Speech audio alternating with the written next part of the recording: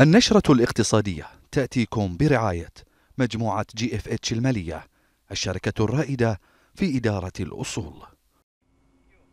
أعلن مصرف البحرين المركزي بأنه تمت تغطية الإصدار رقم 115 من أذونات الخزانة الحكومية الشهرية التي يصدرها مصرف البحرين المركزي نيابة عن حكومة مملكة البحرين. وتبلغ قيمة هذا الإصدار 100 مليون دينار بحريني لفترة استحقاق 12 شهرا.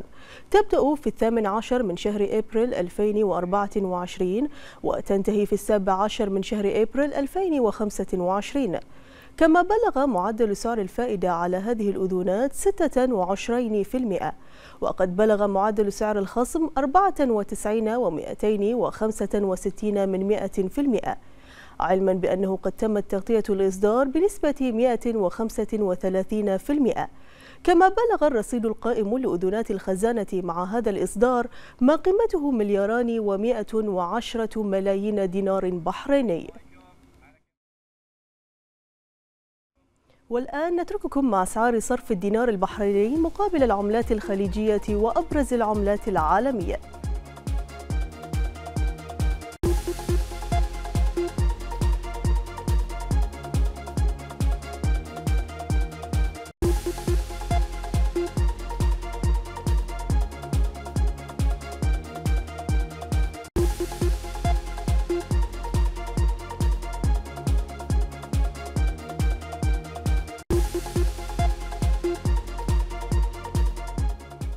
وللحديث حول آخر المستجدات الاقتصادية يسرنا أن ينضم معنا في الاستديو السيد إيهاب رشاد المدير العام لشركة مباشر كابيتال البحرين.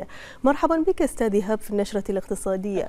البحرين في البداية أستاذ يعني كيف تقيم أداء الأسواق المالية الخليجية في الوقت الحالي؟ وهل هناك يعني تأثيرات من التغيرات الجيوسياسية مؤخراً؟ بالطبع في تأثيرات كبيرة جدا حصلت خلال الفترة الماضية خاصة بعد التصعيد الأخير في منطقة الشرق الأوسط. إحنا شهدنا في جلسة الأحد الماضي في بعض التذبذبات وفي بعض النزول في بعض الأسواق الخليجية اللي اتعملت أو اللي اشتغلت في هذا اليوم. وشفنا في بعض التأثير وفي بعض جني الأرباح على بعض الأسهم وبعض المستويات القطاعات. وفي الأول لقينا إن إحنا في بعض الجذب لأن في مخاطر نعم. ممكن تحصل. بس بعد كده الحمد لله يعني بعد جلسة الأحد وانتهاء جلسة الأحد إحنا يوم الاثنين الأسواق بشكل عام بدأت إن هي تسترد عافيتها مرة أخرى وبدأت الأسعار لحد ما ترتفع مرة أخرى بعد الانخفاضات اللي كانت حصلت يوم الأحد الماضي. بالنسبة للأسواق العالمية كيف تقيم أدائها خصوصا أن يعني شهدنا انخفاض كبير في مؤشر S&P 500 فهل تتوقع استمرار هذا الانخفاض؟ هو بالنسبة للأسواق العالمية في عندنا تأثيرات كبيرة على الأسواق دي من ناحية تأثير أسعار الفائدة إحنا كنا شاهدنا في نهاية 23 بعض التصريحات من باول عن أن أسعار الفائدة ممكن أن إحنا تتراجع إلى سبتمبر أو يمكن نهاية العام أن إحنا نفكر في النزول. بعد ظهور بعض المؤشرات عن التضخم ولا يزال التضخم أكثر من المستويات المطلوبة وجدنا أن في عودة مرة أخرى للحديث عن إن ممكن اسعار الفايدة ممكن تثبت على هذه المستويات. فبالتالي ده بيدي مؤشر طبعا للشركات إن مصاريف الاقتراض والتكلفة ممكن تفضل إن هي مستوياتها عالية فبالتالي بتأثر على ربحية الشركات. فالتأثير على ربحية الشركات طبعا بيؤدي في الآخر إلى ممكن يحصل هبوط نعم. في الأسعار وهبوط في المستويات الربحية فبالتالي المستثمر بيكون خايف شوية أو متوجس من الأسعار فبالتالي ممكن اللي محقق أرباح بيقدر إن هو يبيعها ويعمل جني أرباح فده هو اللي حصل الفترة اللي فاتت إن في عدم يقين من أسعار الفايدة وإن هتخلص أو حنن يعني نخلص الترند ده من الأسعار المرتفعة بنهاية الربع نعم. الثاني ولا هندخل على الربع الثالث بنفس المستويات بالإضافة لده طبعا الأجواء الجيوسياسية اللي بتأثر بشكل كبير طبعا في إمدادات وفي الأسعار اللي بتقدر إن هي السلع بتقدر إن هي تتوصل بيها نعم بالنسبة لأسواق الذهب لقد شهدنا يعني في الأسبوع الماضي انخفاضا قياسيا والآن يعني رجعت بالارتفاع فهل نتوقع ارتفاع أو انخفاض في المستقبل؟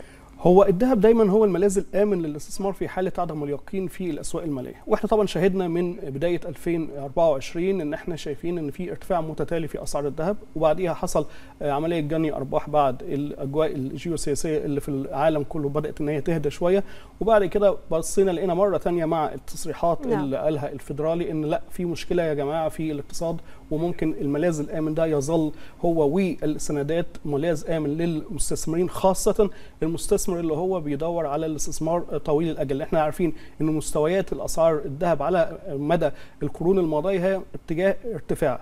بيحصل في بعض الأوقات جني أرباح في بيحصل بعض الأوقات نزول زي ما حصل الفترة اللي فاتت بس بيعاود مرة ثانية الارتفاع والصعود. المستثمر متوسط الأجل ومتوسط الأجل أو قصير الأجل هو ده نعم. اللي بيكون بيتضرر إذا كان الأسعار بتتذبذب بشكل يومي أو بشكل أسبوعي أو شهري up أو down إنما على مستوى المستثمر طويل الأجل لا إحنا شايفين إن الذهب من الملاذات الآمنة إن ممكن أي مستثمر يدخل ويستثمر فيها بدون أي خوف. من وجهة نظرك يعني ما ما هي أفضل فرص الاستثمار في الوقت الحالي في شهر أبريل؟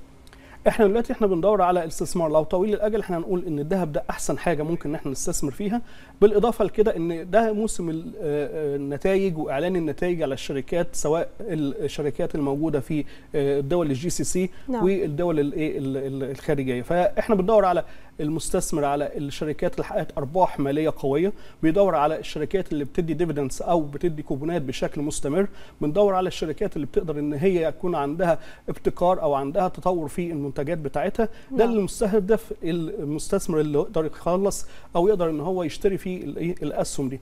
plus ده لو فضلت الأجواء الجيوسياسية صعبة هتبقى طبعا السندات من ضمن الحاجات اللي ممكن نستثمر بيها بشكل قوي جدا. الصكوك برضو من ضمن الحاجات اللي ممكن نستثمر بيها بشكل قوي جدا. طبعا العقار دايما هو ال ال الابن الوفي للاستثمارات ان على مدى السنين الطويلة هو اللي بيحقق أرباح مجزية للمستثمرين. بالتأكيد السيد إيهاب رشاد شكرا جزيلا على حضورك.